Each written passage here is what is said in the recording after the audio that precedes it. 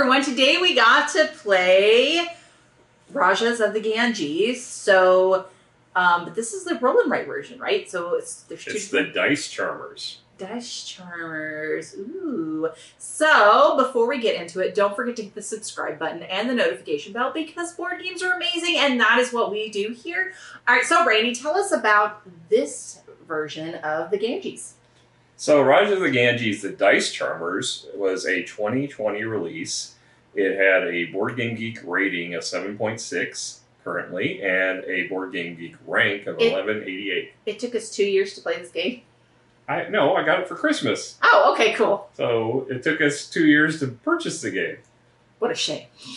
Uh, actually, probably I wasn't out for the full two years, but so, some span of time between 2020 and 2021, we got this game.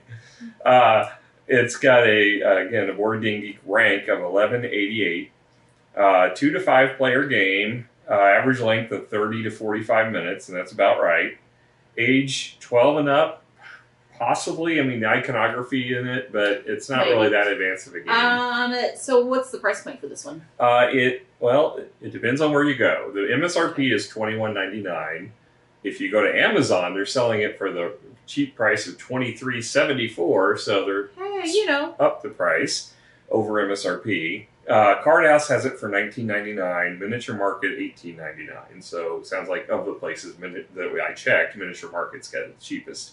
Um, it uh, is designed by Inka Brand and Markus Brand. Uh, their names have come up a few times in games we've played. Mhm. Uh, art by Dennis Lohausen, and it was published by Hutch and R&R Games. So that's all the info I have. Cool beans. All right, so now let's dig into it. Let's talk about quality of pieces. So it's a roll and write. You get paper. Yeah, well, I mean, first of all, the table is about as empty as we've ever had the table for one of our reviews, so it doesn't take up much space. You can No, so that's actually space. that's actually a good thing if you're. Tra- Yeah. This is a great travel game. Um, so you get paper. Uh, you get cardboard. The, this I don't know why. It's just for placing your dice. oh, in case you have two. Well, on yeah, when you're playing a three or f- three to five player game, you're going to have to play it with one die on the side, and if you're playing two player, you flip it over and you place two dice on it. Um, now I will say the elephant's cool just because the elephant's cool. Well, the elephant is cool. The problem is, is the box is not big enough to hold the elephant once you've assembled it, which means every time you put it back in the box, you have to take the elephant apart. So the elephant is not going to last. He's going to wear out. Blows. Yeah. Poor elephant. His lifespan will not be the hundred years that elephants typically live. Um, and then you have dice. Obviously, they are custom dice to fit uh, this particular game. Um, overall, I think the quality is fine. It's nothing. It, you know, it's okay. It's good. Um, all right. So, giving it a score wise, I like the elephant, and for a roller ride, I think it was. It's all right. I mean, uh, uh, the fact that they gave you two pads with two different patterns was nice. That's true. and they did are like double sided, Mhm. so uh, you won't run out super fast. But their pads are thin because obviously you got two pads in the width of this Yeah. box, so they're not going to last for ver- forever. But uh, while you have them, they're not bad, and you can make copies of them, I guess, but they'll be black and white and won't be as functional probably. Yeah. Um, unless you have a color printer that does color copies, and of course, then you can make color copies, and then those will probably be fine. Yeah. So overall, give it a score. What are you thinking? Um, I'll probably. I mean, there's not a lot to score in it, but I'll probably go ahead and give it a six. I mean, there's nothing bad about it. There's just nothing outstanding. I'll give it a six and a half. The half point is for the elephant because I really like elephants. Yeah. So take that word for what you will. Um, all right, so now let's then talk about theme. So this theme is mirroring off the original game, and I love the art for this. I love this aesthetic. I think it's fantastic. Um, the icons are a little droopy. It's not as good as the artwork in the original No, game. no, but I, I mean, it's a pad of paper. It's not really I required. You're it's gonna not meant play to be. throw it away. I know. So, it, it- I mean, it's fine. There's nothing outstanding about the art. Um, what is pretty interesting. The box art's pretty. Oh yeah. Uh, what's interesting is how they took uh, the board game and managed to make a roll and write that had the same feel as what happens in the board game. Yes. I will say, if I hadn't played the original, the theme wouldn't be as strong Yeah. because I'm taking it over Yeah. from that original from that original game. And you find a couple that are like this. You have a couple of worlds of games, and I think that they did well in translating that to a roll and write, and I think they did very well there. Yeah, but like if you take this compared to like uh, the Imperial Settlers roll and write, it it doesn't really feel like No, Imperial doesn't. Settlers. It's got the little uh, little guys and everything on it, but there's nothing that gives you the same gameplay feel in that. Whereas this actually feels like you're doing the Yeah, same things you It, it felt like I, oh, the you know, look, I I only have like a little bit of time. Oh, I'm going to pull this out because I wanted to play this game. No, I agree with you on that one. So if we think about scores for theme, what would you give this score wise? Well, given that I think it's integrated into the gameplay, which is what you know, I'm trying to say is I think the theme is integrated into the gameplay here. I'm probably going to go ahead and give this a seven. I don't think it's an outstandingly you know heavy theme, but I think it is well imbalanced into the game. Um, I will also give you a seven. Um, Be a seven or the game? well, I'll give you higher. I married you. okay. Um, but I give the I, I agree with you on the seven. Um, but I feel like most of the theme was a carryover from Yeah. the other game. Um, but other than that, I did think they achieved what they set out to do was to make a roll and write version of the main game. Mhm. Um, and I still like the elephant. Yeah. it is a cool thematic piece. All right. Um, now let's then talk about the rule book. So right. how did was it was it easy to read for you or what Yeah, I mean it, it's the the book is 48 pages, but that's because it's in tons of different languages in it. Uh, you know, German being the first one, then English, then you've got uh, uh, French. Uh, I don't know what other languages are in here. Uh, there's a, just a bunch of languages. It looks like four different languages, um, and then the actual like rules for it are about 12 pages long, but it's a small book. It's not a large book at all. Uh, and you know, if you've played Raja of the Ganges, it's going to be very familiar with you. Yeah, you'll be able as- to transpose some of those rules Yeah. pretty easily. Yeah, I mean the, the font is really small because the book is really small. So that's the only thing is if you've got an eyesight issue, just Yeah, because I'm reading it from here and I can't read it. yeah, it's it is tiny, uh, but the gameplay is very simple and it it explains it well. Did it break it out? And I see that's got colored yeah, it's boxes. got color coded based on the, the colors of the dice. So green Oh, is the green die helpful. explanation, blue is the blue die explanation. Yeah, it's very nicely done. So they had a good organization Yeah. pattern for it. uh, and then you know it's talking about the iconography. Uh, it's yeah, I mean everything you would expect to see and how the bonuses work. Yeah, it's it's it's a well done rule book for being. You know, the, the the fact is is if your language is easy to find in here, it's great. Well, the rule book's designed with German first. Obviously, that's you know a lot of these games are designed for Germany.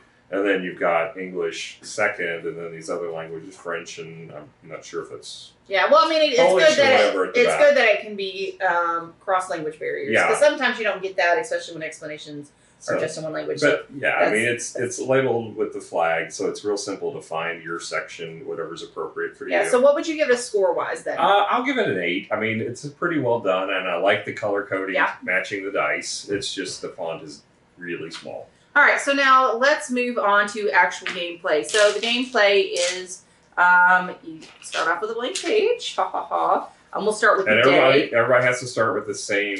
Yeah. You can't do one person day, one person night. Okay, so I'm going to roll these dice, and then um, the person who rolls. So first player does rotate, so just FYI. But I'm going to choose one die that I would like. So in this particular instance, I think I'm going to go with this lovely lady, which lets me go up on the C track one. So that's helpful to me. All right. Oh no, wrong place. I put it here. Now, because I'm first player, whatever I put, whatever of the same color that I didn't choose, I'm actually going to put up here, right? And then I'm going to pass the dice. Now, there's something special about this die, and Randy, you don't like your your choices, do you? Well, I guess I'm being told I don't, so apparently not. So, so to fix that, you're going to choose to. Well, you have in the game of uh, Rajas of Ganges, the, the, the standard game, you've got karma that you can spend that lets you alter the dice. Mhm. In this, you can use it to alter the dice as well. You can take and use the karma to take the die that's in play up here, along with one of the dice up here that might be your second choice, and re-roll both of those dice.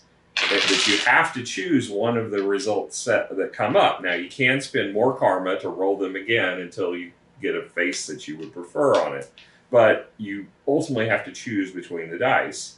And just like you know in the board game of this, the different things you can do in it, you can go down the river. That's the blue dice.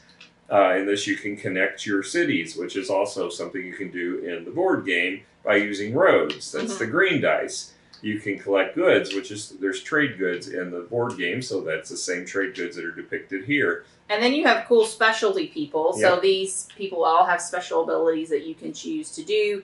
Um, so that I think that was pretty cool. Um, and I like the scoring mechanism. This is one of the reasons why I like the original game and I like this game too, is because you have coins and victory points that upon meeting, that is when the game ends if one player meets or, or They have to intersect. intersect. Um, so I, I really I like that mechanism, and I'm so glad they were able to bring that to the game, and they've got enough going on to be able to manage that. So I was very excited to see that. Um, I think they did. I think they did that very very yeah, well. I mean that's the most. I don't like the fact that you keep winning though. No, I only won once. Your brother won the first time. You still beat me. Yeah, I won the second time. I tied you the first time. That's true. I, I'm literally mentally scarred with how much he beat me the second time around because it was atrocious, I did kind of thump you and your dad. I know. I, I didn't Uh, even know what I did wrong. I really didn't. I was like, I thought I was doing okay, but obviously I was not. Uh, so what's the, the scoring has been the, the most interesting and the most memorable aspect of Rajas of the Ganges to begin with. So you know the fact that you have the, that conveyed into this game really brings it you know makes it feel like you're playing a small box of Rogers, and it you know therefore it doesn't feel like a small box, and the strategy's there, and it, and uh, as far as you know the, the the design of this, I've always liked that design with the coin because you can go you can even though it's a very simplistic design. Yeah. So the thing, the difference is, is you don't spend coin in this. Where in the old Yeah. one, you you could Yes, you could use your coin because coin things. was also a uh, resource, but Yeah. that's not the case with this one. And I kind of miss that component, but it's Yeah. still fine. and and just like in Rajas, you get bonuses as you go down the coin track or the victory point track, depending on which one you're playing. Mhm. Because the daytime one, you get bonuses as you go down the coin track. On the nighttime one, it's a different. It's the same gameplay, but it, it's things are distributed differently on the board. And Well, yeah, you get different special. Yeah. You get special stuff. Yeah, and- places. and the bonuses are now on the on the victory points instead of on the coin. So the, the they just changed, you know, everything. Well, but that kind of leads you to do a little bit different Yeah. strategy, right? You want to go more for the victory points than you do the Yeah. coins, and so I think that's very beneficial. Yeah, and the other thing is they took away. They made I think the nighttime one's a little harder because they took away one of your karma that you could possibly accumulate, Correct. and and they reduced some of the bonuses you get. So yeah, I think all in all, I mean, it's it's a nice that they have the two varieties in this game, so it gives you a little more replayability. And honestly, you know, when I look at all the roll and writes we play and all of them out there, because we play a lot of them. Yeah, because we Uh, like them, I, yeah. or at least I do. Yeah. So So, and I'm, when I say roll and writes, I'm including flipping rights and all the varieties thereof. I mean, Yeah. we've got the welcome to, which has got cards. You got you know lots of different. I, I honestly think this is probably my favorite, except for Yeah. Hadrian's That's Wall. what I say. This is my second favorite of all of them. Hadrian's Wall is just by far and away the best out there. This, But this one's this pretty- is a good second, Yeah, this best. is a good second. and it's more portable. yes, I agree with you. This one will be going with us on our cruise to Dice Tower. Yay! I'm going to take this on the box because this will fit nicely in my suitcase. Whereas Hadrian's Wall would weigh my suitcase down, it would probably sink the boat. So you know, this one is portable. Now, uh, you know, they may still they may already have it in the Dice Tower you have to game look. collection, but even I don't care. I'm still taking it because we can play it the day before. We got it. We're going to be down there an extra day. Yeah. So This one will be good for us to play in the hotel. Yeah. Uh, we've been known to do that. now I will say, when you play two player, you're going to flip to the other side of these, and you will get two dice out of the Mhm. collection. So it's you won't you'll get more dice per roll in a two player game than you will with three, four, or five. So uh, the recommend the recommendation on Board Game Geek is this plays best two to four. I, we even tried it with five. we've only played it from three player and a four player version. Yeah. Yep. So I mean, I, I still liked it. I I'm excited to play it two player with you at a later date. Um, let's talk about scoring now. So I was really impressed with how well they translated this. So I'm going to go ahead and give this one probably a uh, nine. I agree. Nine. This is good. Like, like I said, this is the second best rolling round I can think of that I have played. I've really enjoyed this. This is something I might actually pull out. I mean, I like run rights in general, but this is a really good one. If I'm mm-hmm. feeling heavy, but I don't have time for heavy, Exactly. and I so mean, this is a good fit. this is not a the party type mm-hmm. one that you would play. You know, like you know, like Welcome to is good for big groups. Uh, but th- it's not as high in strategy, although there are other variants of Welcome to that get a little more strategic. yeah, But this one, if you're playing with people who like more advanced strategy, this is a but you're one. still short on time. Right. This works out yeah, fantastically. it's not it's going to not going to take as long to get out or set up or play or take down as Hadrian's Wall. Yeah. So I agree with you. I'm an eye on it. So thank you guys so much for joining us. I had a blast. Really, I think you should pick this one up if you, especially if you've liked Ganges before. Yeah. And it's only 20 20-ish bucks. I mean, it's yeah, that's it's not bad at all. guys. It's a steal. totally worth it. Uh, totally worth a couple of nights of enjoyment at least. Um, well, thank you guys. We'll catch you guys later. Bye. Bye.